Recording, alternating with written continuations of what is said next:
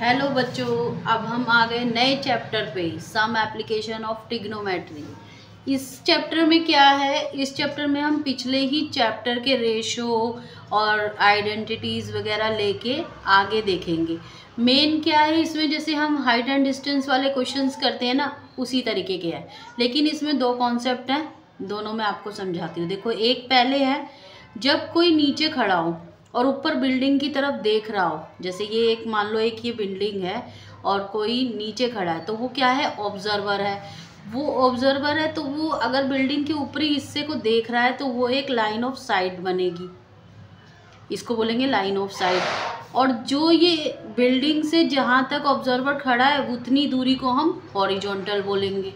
और एक जो ये एंगल बन रहा है, उसको हम बोलेंगे एंगल ऑफ़ एलिवेशन अब इसमें से हमें एक चीज़ दे रखी होगी, एक तो एंगल ऑफ़ एलिवेशन दे रखा होगा और एक इन दोनों में से कोई एक चीज़ दे रखी होगी, या तो लाइन ऑफ़ साइट दे रखी होगी या हॉरिजॉन्टल साइट ये दे रखा होगा।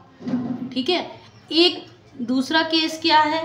अगर कोई बिल्डिंग के ऊपर खड़ा है और नीचे की तरफ़ देख रहा है तो ऑब्जर्वर हो गया। ये तो आपको पता ही है कि ये ऑब्जर्वर है, ये देख रहा है और इसको ये नीचे देख रहा है तो ये लाइन ऑफ़ साइट हो जाएगी और ये हॉरिजॉन्टल हो जाएगा।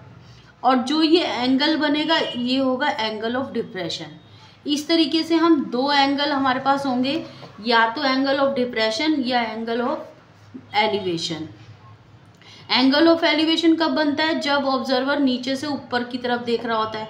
और एंगल ऑफ़ डिप्रेशन कब बनता है? जब ऑब्जर्वर ऊपर से नीचे की तरफ़ देख रहा है.